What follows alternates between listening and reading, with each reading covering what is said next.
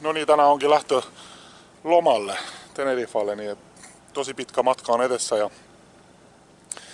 kello on varmaan joku 10.30 tai joku semmonen, niin perillä ollaan joskus illalla. No varmaan silloin kun on pimeä, mutta somessa se matkustaminen käykin vähän nopeammin. Ja ollaankin perillä. On nukuttu tietenkin yöt pois jo. Nyt pitää mennä aamupalalle. Ai niin, sieltä näkyy toi, onko se siis valtameri vai? Joo. Ennen kuin lähdetään syömään, niin katsotaan hauikset. Oh. Kyllä kelpaa. Käytin siinä syömässä, niin en viittinyt siellä kuvata, siellä oli paljon porukkaa. Niin.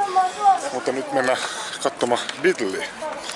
Katsotaan minkälaiset hinnat täällä on, niin esimerkiksi alkoholi tietenkin. On tää vähän niinku ihan normi Lidli Suomessakin. Tää ainakin muistuttaa tosi paljon.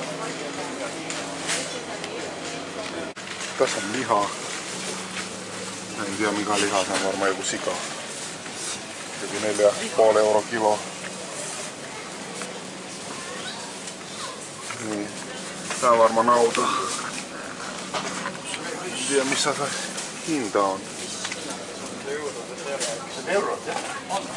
Onks tää hinta? En tiedä.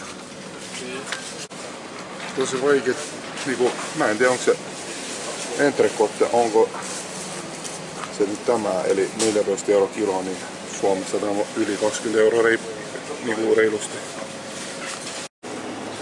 Sitten katkarapuja. Aika isoja. Kilohinta. Sitten kaikki kiinnostaa varmaan alkoholi, niin aika halpaa.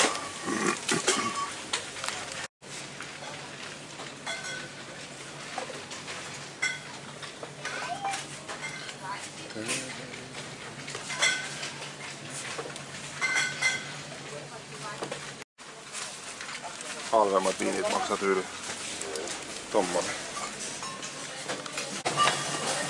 Sitten täällä meillä on juotava jopa kassallakin, niin itse tommonen Red Label, se maksaa Suomessa yli 40.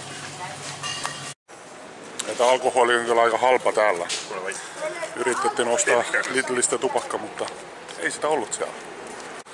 Nyt, nyt rupeaa aurinko paistamaan ja, ja alkoi olemaan jo aika lämmin. Sitä ihmettelen, miten hitaita ne ihmiset täällä on. Niin tämä sama käytävä, niin täällä kävelee yksi paikallinen varmaan, niin se kävelee oikeasti niinku, niinku hitastettu elokuva semmonen. Mutta ei pääsenyt ohikaan. Se oli vähän isompi semmonen mies. Huhhuh. Käytin kaupassa, ostettiin tupakka, niin maksoi 3 euro 30 senttiä. Niin paikallinen, paikallinen maksoi joku paikallinen tupakka oli joku euro 75 mun mielestä. Niin oli euro 75, tai halpa kyllä. Se on kyllä niin sopivasti, kun Lidl on ihan just se alla. Sitten tässä alapuolella on ihan just semmonen viinakauppa. Siellä on joku kuntosali. Siellä ihan vieressä on joku baari. Täällä on joku baari. Eli kaikki mitä tarvi on olemassa. Myös rannalle, niin no, aikamoiset aallot on. No, lapset ihan varmasti ei mene mihinkä uimaan, mutta mä en tiedä mä edes mennä.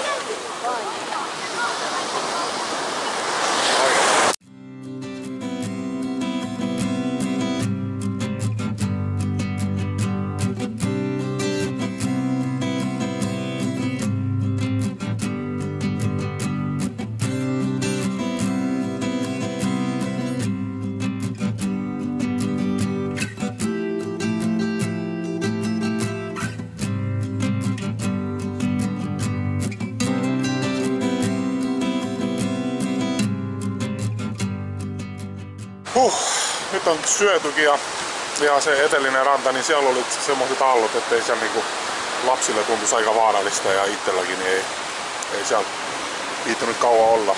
Sitten tuli nälkä, käytin syömässä, nyt mennään todennäköisesti katsomaan joku muu ranta, missä ei olisi niin isoja aaltoja. Niin. Koska täällä ne aallot on aika kovia.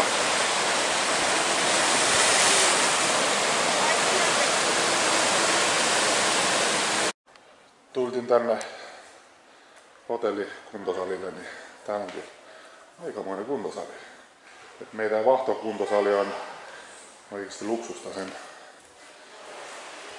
sen niin kuin, jos vertailla tätä ja vahtokuntosaliin, niin sitten on täällä saunakin. Tässä on sauna. Itse asiassa otettiin yhdet löylyt jo. Mä en tiedä, ei se kauhean hyvin lämpene. Ja sitten se sauna sisältä. Tähän on kaatettu muuten, mä kaatasin vähän vettä, että saisi jotenkin ihan vähän puhtaammaksi. Mutta...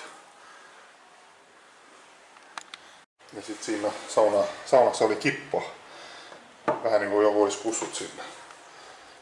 Et mitä mä otin sieltä, löysin joku tyhjä pullo, niin sen kanssa mä kaatasin vaan löyly.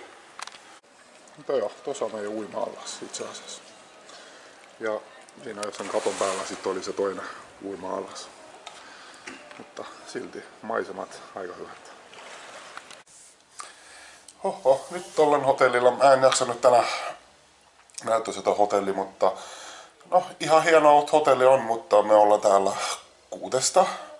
Ja sitten me katsottiin myös toisien, eli se esimerkiksi Erkki ja hänen pojan huonetta, ne on kahtesta ja ne on paljon isompi.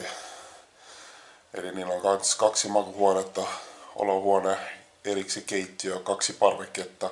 No on meilläkin kaksi makuhuonetta, mutta meitä on kuitenkin kuusi. No, sanotaan näin, että meitä on kuusi ja meillä on pienempi ja ei ehkä niin hyvänäköinen huone. Ja toisilla on kyllä näin, että ne on kahtesta ja niillä on niinku isommat huonet ja kaikki jutut ja monta parveketta. Mutta joo, miten lento meni, niin lento menisi näin, että mm, siitä lentokentältä ostettiin vähän juotavaa mukana. Sitä ruvetin maistelemaan siinä lentokoneessa. Jäätin siitä kiinni kaksi kertaa.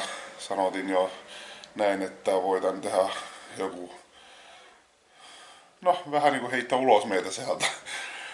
Ja, tai sitten voi tulla sakkoja tai mitä ne saa. Kaikki uhkailit meitä, niin keräsit kaikki tavarat kaikki juotavat pois ja piti kaikki... Mä näyttäisin kaikki oma laukut, että mulla ei ole mitään ylimääräistä siellä vielä. Ja...